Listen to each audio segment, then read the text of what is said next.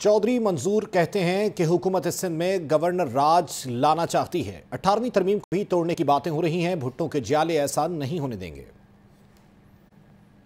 جس نے اس میزائل ٹیکنالوجی کو سیٹلائٹ سے ملایا زرداری اس کو ایک عبرت کا نشان بنانے کی کوشش کی جا رہی ہے۔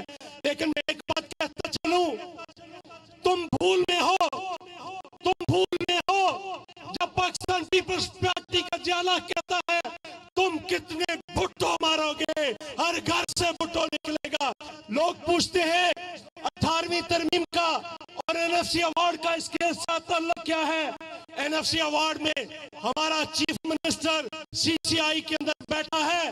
اس کے ہوتے ہوئے تم این ایف سی اوارڈ کو نہیں چھین سکتے صوبوں کے حقوق نہیں چھین سکتے، تم وہ چھیننا چاہتے ہو۔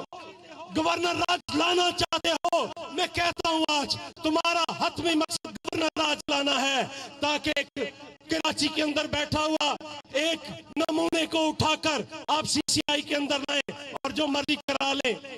آپ آگ سے کھیل رہے ہو، اس ملک کی فیڈریشن سے کھیل رہے ہو، یہ پاکستان پیپلز پارٹی آپ کو نہیں کھیلنے دے گی، چونکہ پاکستان پیپلز پارٹی نے اس فیڈریشن کو مضبوط کرنے کے لیے اپنی قیادتوں کا خون دیا ہے۔ قیدیں کاٹی ہیں، کوڑے کھائے ہیں، جیلیں بھگتی ہیں، پھانسیوں پہ جھولے ہیں۔ ہم کسی تارے ازما کو یا